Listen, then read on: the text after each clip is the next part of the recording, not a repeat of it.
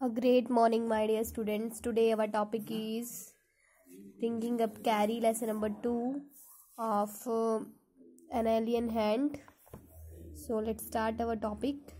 Next day, अगले दिन, while I was sitting in the dining room, wondering whether I should take some fruit from the table without my parents' permission.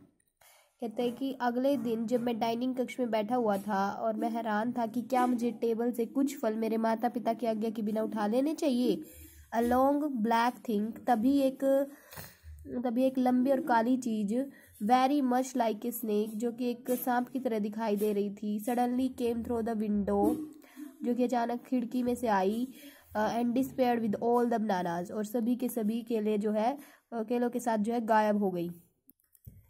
I was very much frightened मैं बहुत ज़्यादा डर गया था because I had never seen snake side eat bananas and I thought it must be a terrible snake that would snack in and take fruit कहते हैं, वो बहुत डर गया था मतलब कहते हैं कि मैं बहुत डर गया था क्योंकि मैंने कभी भी सांपों को केले खाते हुए नहीं देखा और मैंने सोचा कि यह सांप अवश्य ही जो है अवश्य ही बहुत ही भयानक होगा, जो चुपके से अंदर आया था और फल उठा के ले गया था।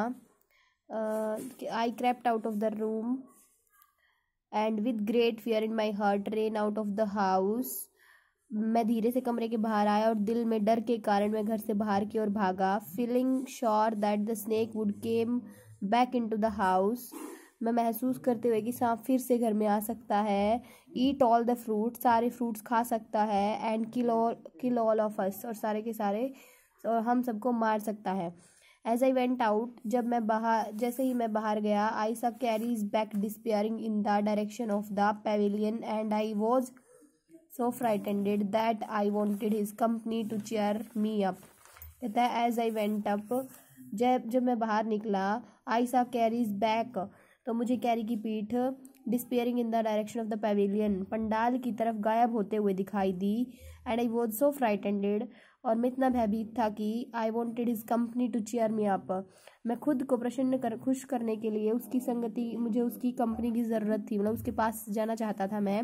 I ran after him into the pavilion and I found him there eating bananas तो मैं उसके पीछे दौड़ता हुआ पंडाल में पहुँचा और मैंने कैरी को केले खाते हुए पाया। I stood still in astonishment मैं उसके पीछे जो है मैं उसे हैरानी से खड़ा हुआ देख रहा था। The bananas were lying strewn all around him जितने भी केले थे वो सारे उसके चारों तरफ़ बिखरे पड़े थे। He stretched out his trunk and reached for one far away from where he was standing he stretched out his trunk वो जो है अपने सूंड सूंड को फैलाया हुआ और उसे दूर तक लेके गया। Uh, उसी क्षण उसकी सूंड एक काले सांप जैसी दिखाई दी और मैंने जो है फ्रॉम वेयर ही वॉज़ वो जो है, वहाँ पे खड़ा खड़ा वहाँ से अपनी सूंड को दूर तक लेके गया। That instant the that instant the trunk looked like a black snake तभी उसकी जो वो सूंड थी मुझे एक सांप के जैसे दिखाई दी। And I realise that Kari was the thief मुझे रियलाइज़ हुआ कि कैरी ही वो चोर था। और I realise that Kari was the I went to him मैं उसके पास गया। Pulled him out by the ear and joyously showed my parents that it was Carrie and not I that had eaten all the fruit these my many weeks.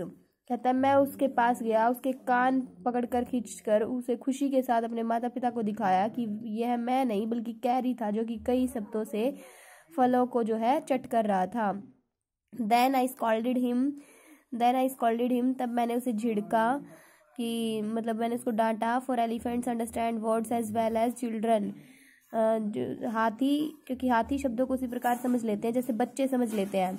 And I said to him और मैंने उससे कहा next time I see you stealing fruit you will be wished you will be whipped तो कहता है कि मैंने उसके, उसको पकड़ के उसके ऊपर मतलब उसको डांटा कि अगर तुम आगे से अगली बार यदि मैंने तुम चोरी करते हुए देखा तो तुम्हें चाबुक से पीटा जाएगा। His he knew that we were all angry with him उसको पता था कि हम सारे उससे गुस्सा हैं इवन द सर्वेंट्स नौकर भी। His pride was so injured that he never stole another thing from the dining room उसके जो उसके अभिमान को जो है इतना आघात लगा कि उसने फिर कभी भी डाइनिंग रूम से कोई चीज़ कभी नहीं चुराई। एंड uh, जो है another thing thing the and and from on if anybody gave him any fruit he always squealed as if to thank them. उसके बाद से यदि उसे कोई भी फल देता तो वो खुशी से चिल्लाता हुआ उसका धन्यवाद कर रहा हो, ऐसे लग रहा था। An elephant is willing to be punished for having done wrong एक हाथी गलती करने पर दंडित होने का इच्छुक होता है, लेकिन यदि तुम उसे बिना किसी कारण के दंड देते हो but if you punish him without any reason he will remember it and pay you back in your own coin कहता है कि यदि तुम उसे बिना किसी कारण के दंड करोगे तो वो हमेशा याद रखता है और वो उसका बदला भी लेता है। Kari is a fast learner. Kari जो था, एक फास्ट लर्नर था, जो कि हम नेक्स्ट पैराग्राफ में पढ़ेंगे। कैरी एक फास्ट लर्नर था।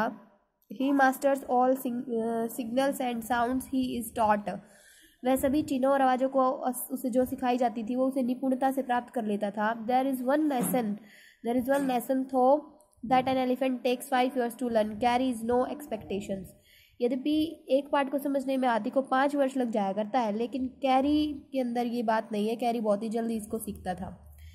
तो बच्चों, हम जो है नेक्स्ट कल रीड करेंगे। थैंक यू मतलब नेक्स्ट वीडियो में रीड करेंगे। Thank you have a nice day